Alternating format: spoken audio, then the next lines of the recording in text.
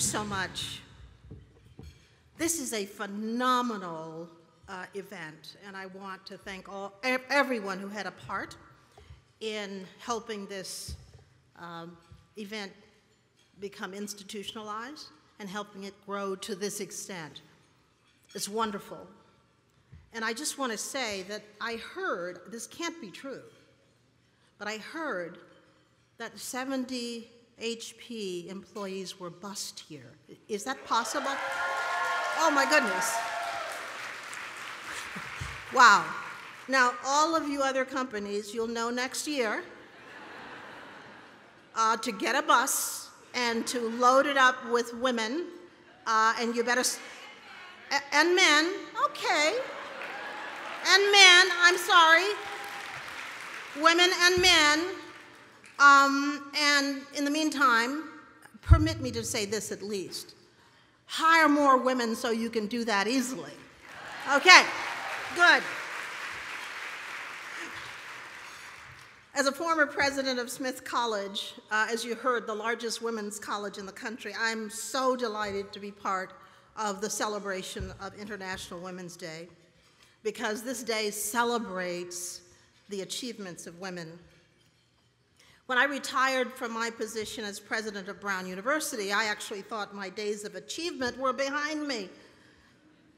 I imagined a life of leisure, contemplating the joys of my decades of leadership in higher education. You see, I left home when I was 17, and I hadn't lived in Houston since, since then, since I graduated from Phillis Wheatley High School. Oh, yeah. Wheatley rules.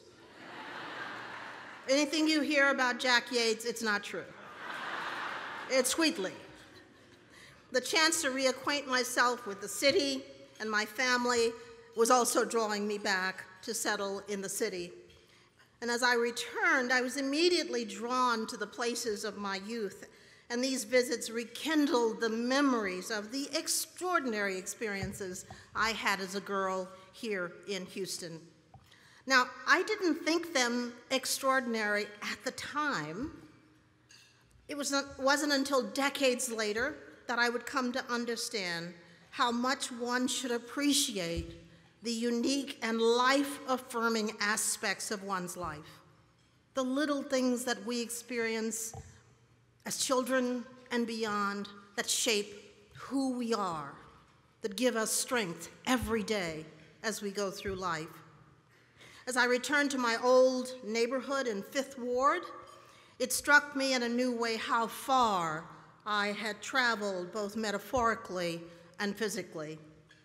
I recognized when I came back and I walked through those streets in Fifth Ward that the overwhelming odds of my achieving su success when I was here were so low that it would have been perverse for me to aspire to anything like what I've done in my life. But luckily, people intervened in my life and purposefully overturned those odds.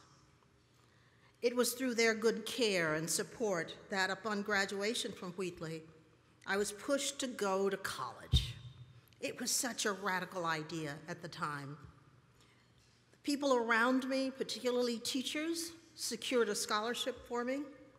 They packed my bags, and they ushered me into an unknown world, more confident than I was that I could succeed.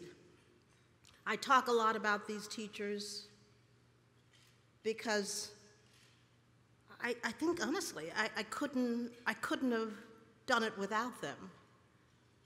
They went into their closets took their clothes out of their closets and packed a bag for me to go to college. Think of that. Teachers. Everyone I knew at the time was a laborer or a maid doing day's work. So too were my parents. So imagine people putting in my head that I could actually go to college and aspire to a career of my choosing. In an era of trenchant segregation and low expectations for African Americans, this was indeed a radical idea.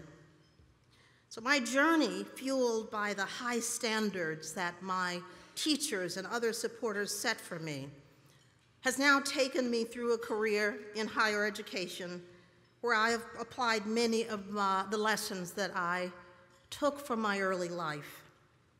From my stalwart parents, wow. I always say, to punctuate how important their care was, that every one of their 12 children lived to adulthood. Because they taught us how to survive in a brutal, segregated environment. Amazing. And then there were teacher mentors in Houston. I understood from my parents and these teachers that self reliance and independence of mind would be an important asset for me in life. That, with standards of achievement far more ambitious than others thought reasonable, would fuel my journey from Dillard to Harvard, from the Saltillo Institute in Mexico to the University of Lyon in France. So, the first 15 years of my life in a segregated environment, I learned easily and was amply rewarded for achieving consistently high grades.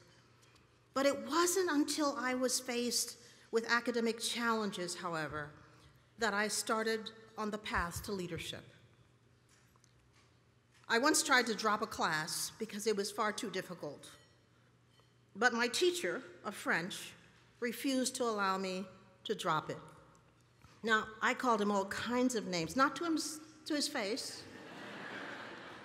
what an unfeeling person to see that I'm having so much difficulty and not to allow me to drop the class. No, he said succinctly, just work harder. well, that's what I did. And it wasn't until then that I learned that I could overcome challenging intellectual problems. So, thanks to a rigorous environment, I thrived, committing myself after that to giving my best in all circumstances. Couldn't always predict the outcome to be brilliant, but I knew one thing that I had to apply myself, I had to work hard. And then I would be satisfied with, with whatever the outcome was. And that's why I applaud work environments that provide the ultimate advantage to workers, and especially to women and minorities. What do we need? Challenging work, honest assessment, insistence on improvement. Because frankly, nothing is more enabling than, a, than the moment that an individual learns how to deploy their strongest personal assets to solve a seemingly insurmountable problem or to create an important innovation. Now, there are several circumstances in which I was challenged to work at the top of my ability and frankly beyond. First of all, at Princeton, where I was associate dean, I completed an assignment and I turned it in to the dean. His response in reviewing my work was swift and cutting. He said quite simply that the work I submitted was the worst he had ever seen. And for effect, he said that and kicked the file cabinet. I don't know if he was having a bad day. I know I was. or whether he actually believed what he said, but his words cut me deeply. And so I did what I should do, what anybody should do, perhaps, and I returned to my office, put my head on my desk, and cried. But when I got over feeling bereft, again I went back to work and redid the assignment. There are two things that I remember about this incident. The first is that by accepting the, and incorporating his criticism, I improved my skills. And that put me on the path to understanding more fully the potential I had to make adjustments, to learn from mistakes, to work with others to address deficiencies. The second thing that I learned was not to take criticism as an indication of any animus on the part of, a, of the critic or supervisor. The person who delivered this criticism became my greatest mentor and the person most responsible for my advancing to a presidency. He had my interests at heart. He pushed me to excel, when I most needed it, and he convinced me to accept the offer of a presidency because at the moment that I received the offer to go to Smith, I was afraid and I said that I was going to turn it down. He is the one who pushed me to accept it because he believed that I could do it. Striving to be excellent in one's work does not always lead to immediate accolades. I learned to strive for excellence by first becoming a critic of myself, but also a critic of the humdrum, a critic of the assertion that things must remain the same, a critic of unfair policies, a critic of the obstacles put in place to bar access and preserve privilege. So, for many years, my identity in the workplace was that of a critic, a misfit, a difficult person. People avoided me as the troublemaker that I actually was. It was not until I understood the burden of self improvement and self criticism was an obligation equal to that of trying to improve others. So I learned to listen, to be more discerning in my perceptions, to give others the benefit of the doubt on the same basis that I wished it for myself. And when I was able to do that, I became less of a critic and more of a team player, able to work alongside others, to listen to different approaches, and persuade others of my point of view. So I'm grateful for every challenge that I've faced that made me nimbler, smarter, tougher. People are often puzzled by the way that I've moved across culturally different institutions, and everybody must be able to do that. I've moved from the Goldman Sachs board to the Texas Instruments board to the Square board, from a women's college to, my, to an Ivy League university to a historically black university. We create barriers based on, I don't know, a sense of elitism, maybe.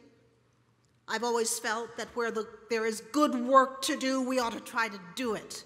And one skill that we have that applies here also applies here.